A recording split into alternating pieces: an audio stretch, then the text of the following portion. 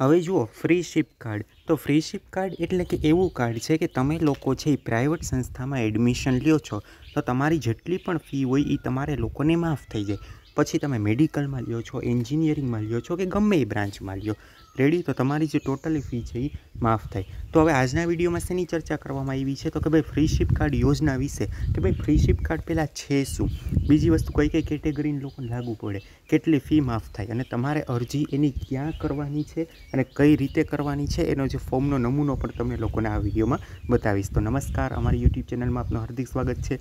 હવે આ ચેનલનો હેતુ એ જ છે કે યુનિવર્સિટીઓના જેટલા બી સર્ક્યુલર આવે છે, આ બધા ઇમ્પોર્ટન્ટ ડોક્યુમેન્ટ છે, તમારે કઈ જગ્યાએ કઢાવવા કઈ રીતે કઢાવવા, યુનિવર્સિટીઓના જેટલા બી લેટેસ્ટ ન્યૂઝ આવતા હોય, એની આપણે ચર્ચા કરવા માટેની તથા ધોરણ દસ પછીના જેટલા પણ અભ્યાસક્રમો છે, તો એની ચર્ચા કરવા માટેની આ ચેનલ બનાવવામાં આવી છે. તો તમે લોકો ચેનલ ઉપર નવા જશો તો આ ચેનલને તમે ખાસ કરીને સબસ્ક્રાઈબ કરી લેજો, કે જેથી તમને લોકોને મહત્ત્વની અપડેટ મળતી રહે. ઓકે? તો બસ આ ચેનલ અને તમારા લોકોને અમારા ઇન્સ્ટાગ્રામ પેજને ફોલો કરવું હોય, તો તેની જે લિંક છે એ પણ જે ડિસ્ક્રિપ્શન બોક્સમાં આપી દીધી છે. ત્યાં જઈને તમે લોકો અમને ફોલો કરી શકો છો તથા એડમિશન રિલેટેડ છે એ અપડેટ જોઈ શકો છો. તો આ ચેનલને તમે વધુ વધુ લાઇક કરો શેર કરો અને સબસ્ક્રાઈબ કરવાનું ન ભૂલો.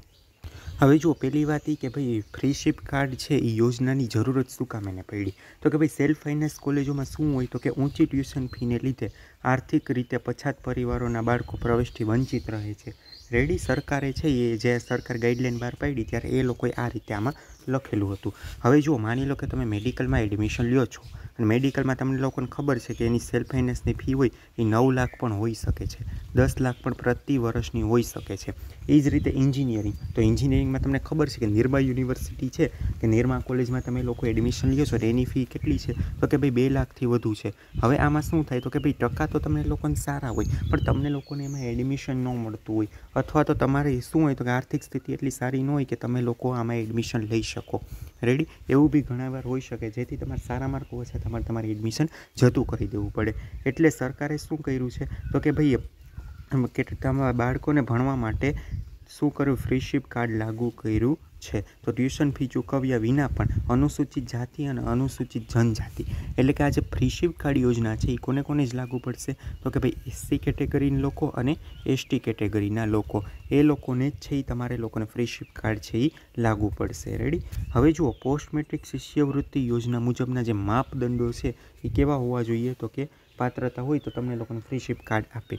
હવે મેઇન આમાં પાત્રતા શું હોવી જોઈએ એ વસ્તુ તમે ખાસ ધ્યાન રાખો.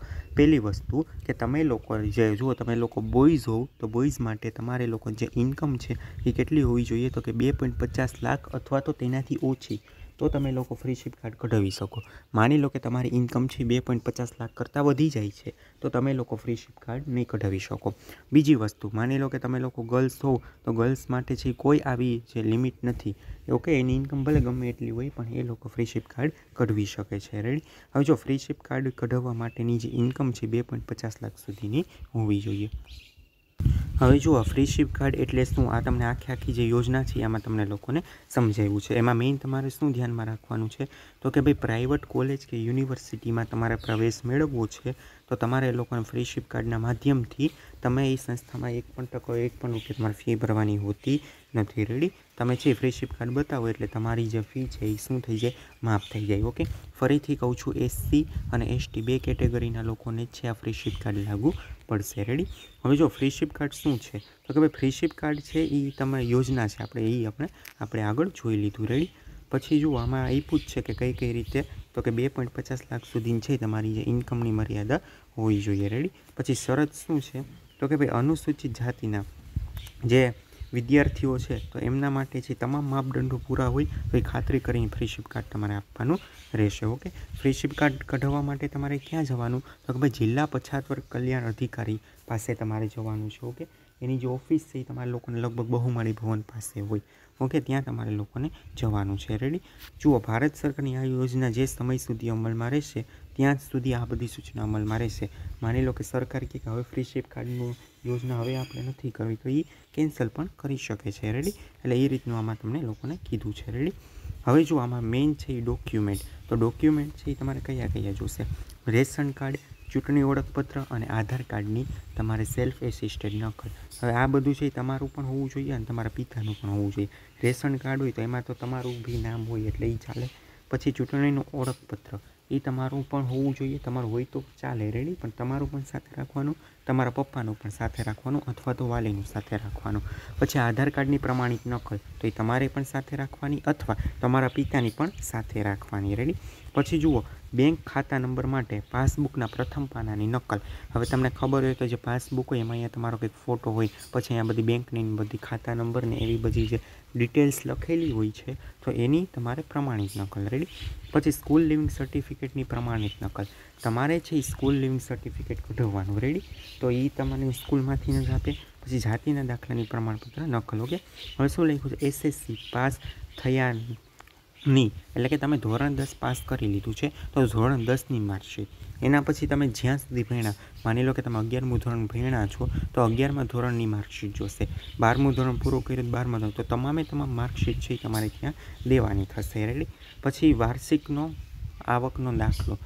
કેમ કે વાર્ષિક તમારે જે આવક જેટલી થતી હોય એ તમારે દેવાનું ઓકે પછી માતા પિતા કંઈ નોકરી કરતા હો તો એમની જે આવકના પ્રમાણપત્રની પ્રમાણિત નકલ રેડી હવે જો એસએસસી પછી માની લો કે તમે લોકો ભણ્યા નથી, સમજી લેજો, માની લો કે તમે શું કર્યું? એસએસસી પાસ કરી લીધું. પછી તમે લોકો એક વર્ષથી સ્ટડી નથી કર્યો. તો પછી તમારે લોકોએ શું કરવાનું છે? તો કે તમારે ગેપ સર્ટિફિકેટ આપવાનું રહેશે. રેડી ગેપ સર્ટિફિકેટ તો તમારે જણાવવાનું, સોગંદનામું કરાવવાનું કે માની લો કે તો એ એક વર્ષ તો તમે લોકોએ કર્યું શું? નોકરી કરી કે બીજું કંઈ કામ કર્યું તો એને તમારે સોગંદનામું કરાવવું પડે.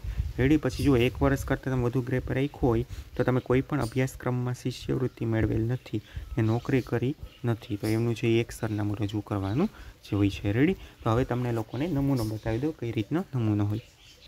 હવે જુઓ આમાં શું લખ્યું છે? ધોરણ અગિયાર બાર તથા કોલેજના અભ્યાસક્રમ માટે કાર્ડ મેળવવાની અરજી. રેડી અહીંયા તમારે જો જે જિલ્લો હોય એ તમારે અહીંયા લખવાનું. અધિકારીશ્રીની કચેરી જ્યાં હોય.